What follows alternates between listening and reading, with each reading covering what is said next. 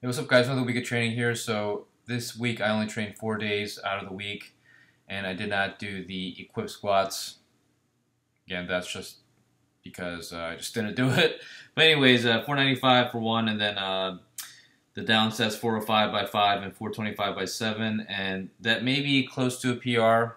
I'm not exactly sure but anyways, this was a good set. I was actually forced to move my deadlifts over because you know normally I don't train earlier in the evening and I'm trying to deadlift or lift right after my work because I kind of have a bad habit of going too late to the gym.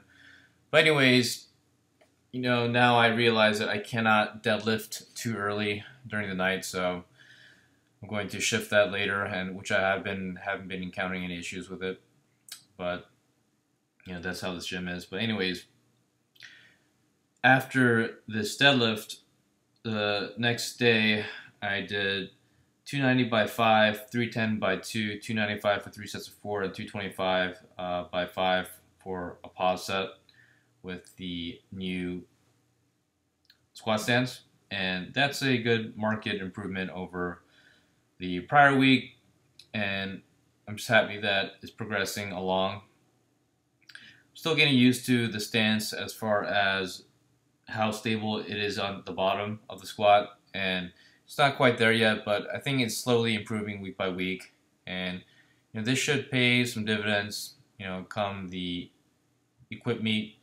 And I am having a slightly better time bracing the back and trying to hold that back position but you know the squats they're probably parallel at best but again that's always a work in progress but I don't plan to compete Raw in the near future, or maybe at all. Not completely eliminating it, but you know, for the most part, it's going to be eliminated because I need to focus on getting the equip PRs. So, you know, the higher squats, bench, deadlifts, and the gear, and the and the suit and the shirt. But you know, we'll see how that goes, and let's see if it actually does pay some dividends when it comes to the equip meet. But anyways, did a bench pyramid after that, and then the next time I squatted, it was 295 by 4, 315 by 1, 295 by 4, 275 by 6. Uh, I guess I was feeling a little gas from previous day, but I, I, was talking to someone in the gym for quite a long time. So, you know, that's how it worked out. And think this is the next hump try to get 295 for some good reps. And this is actually first time I did do 315 by 1, so I was happy about that. So, you know, hopefully maybe in six months' time or in a few months' time, I'll be able to rep 315. But again, this is a new stance, so not feeling too particularly strong in it, but it's always a work in progress. Um, after the squats, I did 185 by 7, 205 for a double, and 225 by 1. And it is getting a little annoying to do the bench training, but you know I'm trying to mix it up with the board press, and let's see how that goes.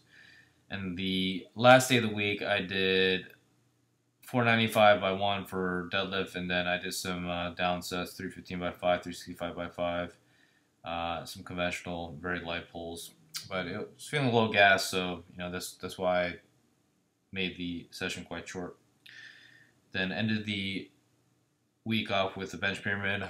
Did 185 by 6, 205 by 3, 225 by 1 pictured here, 185 by 6, and 135 by 14. So uh, stay tuned for the next week training. Thanks.